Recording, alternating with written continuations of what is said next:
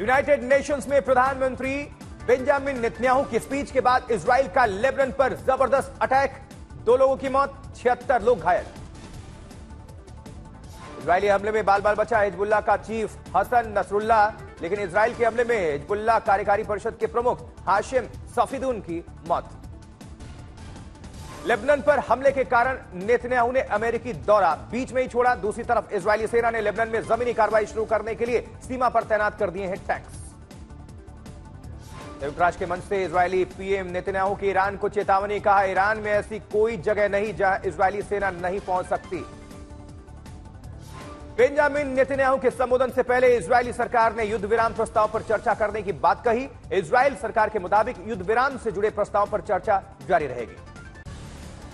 पाकिस्तान ने United Nations में फिर छेड़ा जम्मू कश्मीर का बेसुरा राज। पाकिस्तान के प्रधानमंत्री शाहबाज शरीफ बोले, शांति की मांग कर रहे हैं जम्मू कश्मीर के लोग.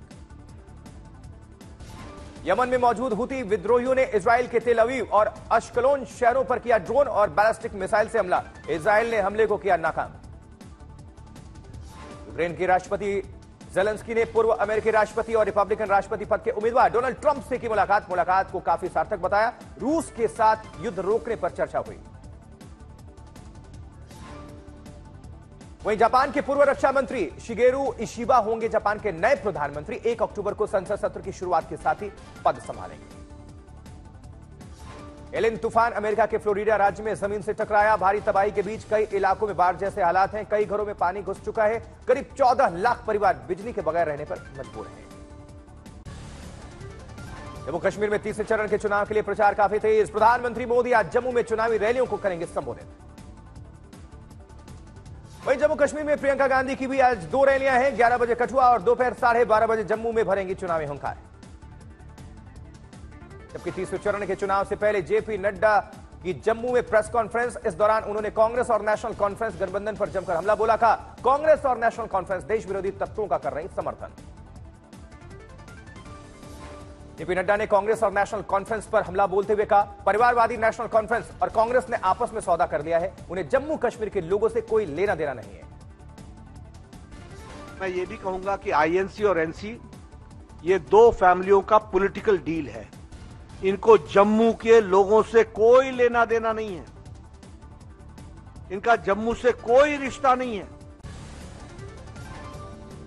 बीजेपी ने कांग्रेस को घेरने के लिए। रॉबर्ट वाड्रा के कथित भ्रष्टाचार का मुद्दा उठाया। बीजेपी प्रवक्ता गौरव भाटिया ने दावा किया कि राज्य में चुनाव हरियाणा के लाल और गांधी परिवार के दलाल के बीच की लड़ाई।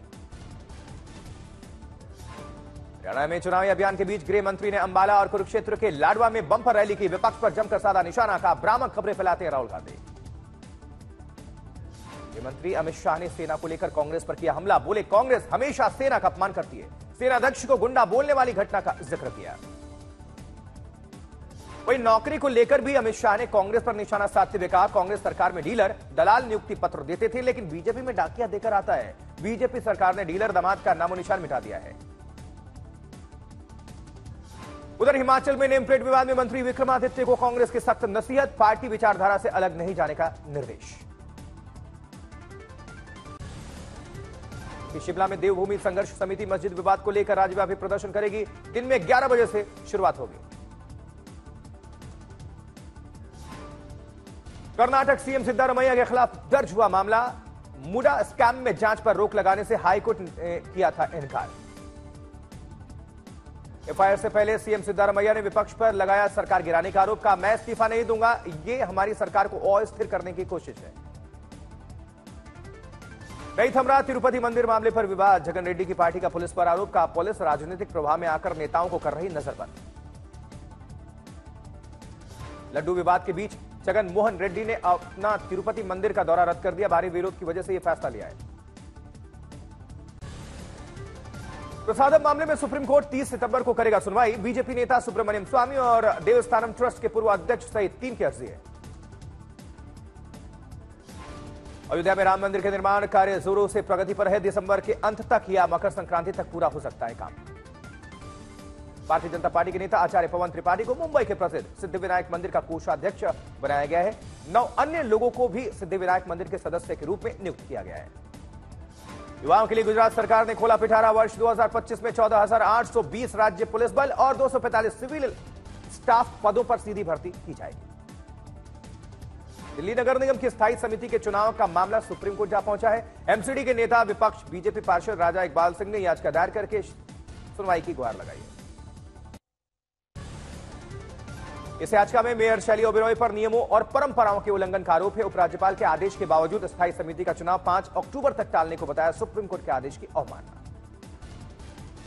प्रदेश कांग्रेस अध्यक्ष नाना पटोले ने चुनाव आयोग को पत्र लिखकर डीजीपी रश्मि शुक्ला को हटाने की मांग की है। 2019 में विपक्षी नेताओं की फ़ोन टैपिंग में शामिल होने का आरोप लगाया। रांची के पूर्व उपायुक्त छवि रंजन को जमानत देने से सुप्रीम कोर्ट ने किया इनकार। सेना के ज़मीन घोटाले में ईडी कोर्ट और हाई कोर्ट से आज का खारिज होने के बाद छवि रंजन ने सुप्रीम कोर्ट में दायर की थी याचिका। आज यूएनजीए जनरल डिबेट में भारत का पक्ष रखेंगे। भारतीय विदेश मंत्री doctor S Jaishankar. No one behind है डिबेट की थीम। ज्ञानवापी को लेकर एडिशनल एएसआई सर्वे की मांग वाली आज का पर वफ बोर्ड की बहस हुई पूरी। अगली तीन अक्टूबर की तारीख पर मस्जिद कमेटी बहस करेगी। जयपुर में बीजेपी ने चला हिंदू का, आज कांग्रेस से आए पार्षदों समेत मेयर दफ्तर का शुद्धिकरण।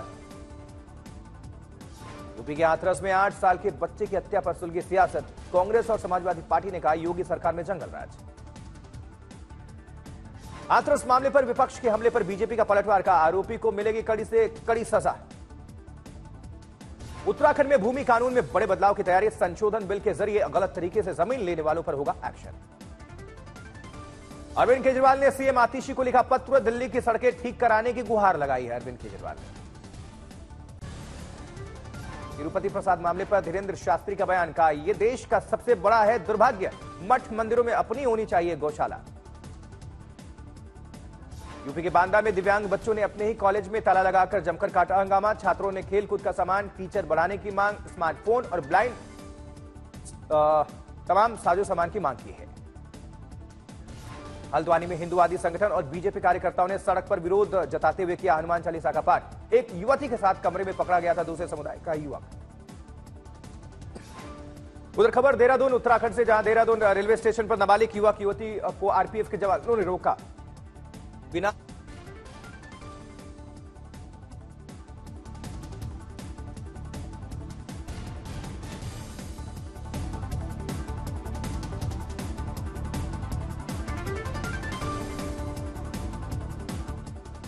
भारत को मिला नया सुपर कंप्यूटर अब मौसम और प्राकृतिक आपदाओं की मिलेगी सटीक भविष्यवाणी। सुपर कंप्यूटर की अन्य खासियत भी कर देगा हैरान। मध्य प्रदेश के सीहोर में तेज बारिश से मार्केट की सड़कें जलमग्न हैं। रास्तों पर दो से तीन फीट तक पानी जमा है। बाइक के पहिए डूबे हुए नज़र आए। वहीं जूनागढ़ में भारी बारिश से देखा खौफनाक दृश्य। दामोदर कुंड ने पकड़ा रौद्र रूप। सैलाब में तैरते दिखे वाहन। उज्जैन के महाकाल मंदिर में हुआ हादसा। दीवार धसने से मची अफरा तफरी। मलबे में धपने से दो लोगों की मौत हो गई। दो जख्मी हैं। इधर गोरखपुर में भी मौसम का हाल यही है। शहर में झमाझम बारिश। कई इलाके जलमग्न हैं। सूरत में बिन बादल बारिश करवाएँगे पैंसठ साल के पुरुषोत्तम भिपलिया। भारत सरकार ने दिया है पेटेंट प्रमाण पत्र गंडक बैराज से अगले 24 घंटे में 5 लाख क्यूसेक से अधिक पानी छोड़ने की संभावना है। निचले इलाकों में बाढ़ आने की संभावना है। सुपौल में लगातार हो रही बारिश। भारी बारिश को लेकर सुपौल के डीएम ने कोसी इलाके में हाई अलर्ट जारी किया है। उधर छपरा जंक्शन और रेलवे परिसर में मचा बवाल। प्रैंक वीडियो बनाकर यात्रियों को परेशान करने वाले दो सगे भाइयों को आरपीएफ ने गिरफ़्तार किया है। अलवर में घर में सो रहे व्यक्ति पर बदमाशों ने ताबड़तोड़ फायरिंग कर दी, सिर और हाथ में लगी गोली। इलाज के दौरान मौत हो गई। गाँव में तनाव के हालात हैं। दिल्ली के एक कार शोरूम में हुई ताबड़तोड़ फायरिंग। 20 राउंड से ज़्यादा गोलियाँ चली हैं। बरेली में दो पक्षों में मस्जिद निर्माण को लेकर विवाद। नमाज़ को दूसरे गाँव में गए थे गा, दूसरे गाँव के लोग दूसरे समुदाय ने गिरा दी धार्मिक स्थल की दीवार फिर हुआ बवाल। पटना में एक निजी स्कूल के शिक्षक पर दसवीं के छात्रों ने लगाया यौन शोषण का आरोप हिरासत में लिया गया शिक्षक। मध्य प्रदेश के हरदा में कॉलेज में शराब की बोतल मिलने के आरोप पर हंगामा पॉलिटेक्निक कॉलेज प्रचार ने पकड़ी एबीवीपी नेता की कॉलर। बरेली में सात साल की बच्ची के साथ दरिंदगी की कोशिश, बच्ची के शोर मचाने पर भीड़ ने आरोपी को दबोचा। आरोपी ने बच्ची को जान से मारने की की थी कोशिश, भीड़ ने पीटा। उधर खबर, बिहार छपरा से जहाँ सौतेली बेटियों ने की माँ की हत्या, पुलिस को भी मृतका की आवाज़ में फ़ोन करके बरगलाने की कोशिश की। धौलपुर में पिता मासूम बच्चों को गर्म चिमटे से दिए गए जख्म, बच्चों ने चाइल्ड हेल्पलाइन की मदद ली, आरोपी पिता फरार है। जबकि आरा में शराब पार्टी के दौरान हथियार बंद बदमाशों ने एक अधेड़ व्यक्ति की गोली मारकर हत्या कर दी। परिजनों ने बहाने बुलाकर निशंस हत्या करने का आरोप लगाया। अभियुक्त फरार है। देवरिया में आरएसएस कार्यकर्ता ने रोते हुए उसके और बेटी के साथ पुलिस के दुर्व्यवहार को लेकर सीएम और एसपी से लगाई न्याय की गुहार। वीडियो वायरल, तीन कांस्टेबल लाइन हाजिर हल्द्वानी में दिव्यांग स्थानीय लोक कलाकारों के साथ पुलिस की अभर्थता का मामला। वीडियो सोशल मीडिया पर तेज़ी के साथ वायरल है। उदयपुर की एक यूनिवर्सिटी में छात्र ने महिला प्रोफेसर को जमकर धमकाया। प्रोफेसर से सामने छात्र ने जमाई पिता के कलेक्टर होने की धौस, धमकी भरा वीडियो वायरल। गोपालगंज में तांत्रिक के भेस में शख्स निकला हैवान। इलाज के बहाने सिवान की युवती से गैंगरेप। दो तांत्रिकों सहित तीन आरोपियों को इस मामले में गिरफ़्तार किया गया है। वाराणसी में सोशल मीडिया पर उच्च अधिकारियों को गाली देकर वीडियो वायरल करना पड़ा शख्स को भारी। पुलिस ने किया इसे गिरफ़्तार। पुणे में 80 साल के बुज़ुर्ग ने 26 साल की मानसिक रूप से कमज़ोर लड़की के साथ रेप किया, आरोपी गिरफ़्तार हुआ है वहीं इंटरनेशनल खबरों की अगर बात करें तो भारत से विदेश जाने वाले लोगों की संख्या 12 फ़ीसदी बढ़ चुकी है। देश में आने वाले विदेशी पर्यटक 2024 की पहली छिमाही में पीक कोविड स्तर के मुकाबले 90 फ़ीसदी ही रहे। जबकि सितंबर में कारों की बिक्री में जोरदार उछाल आने का अनुमान है। 30 सितंबर तक तीन लाख सत्तर हज़ार कारों की बिक्री करने में कंपनियों को मिल सकती है कामयाबी। दुनिया के रईसों की लिस्ट में पहली बार 200 अरब डॉलर के क्लब में शामिल हुए टॉप चार रईस। ब्लूमबर्ग बिलियनियर इंडेक्स में मुकेश अंबानी तेरहवें और गौतम अडानी पंद्रहवें नंबर पर हैं मौजूद। ग्लोबल इनोवेशन इंडेक्स में 9 साल में भारत ने लगाई 42 स्थानों की छलांग। 2015 के इक्यासी के मुकाबले 2024 में उनतालीसवें नंबर पर पहुँचा है भारत। निर्माण, खनन और कृषि सेक्टर्स में काम करने वाले श्रमिकों के लिए न्यूनतम मजदूरी में बढ़ोतरी का ऐलान किया है। सरकार ने एक अक्टूबर से श्रमिकों को मिलेगी बढ़ी हुई मजदूरी दर। बुक माई शो के सीईओ सीटीओ को मुंबई पुलिस का समन। आज होंगे दोनों के बयान दर्ज। कोल्ड प्ले कॉन्सर्ट के टिकट की ब्लैक मार्केटिंग का यह मामला है।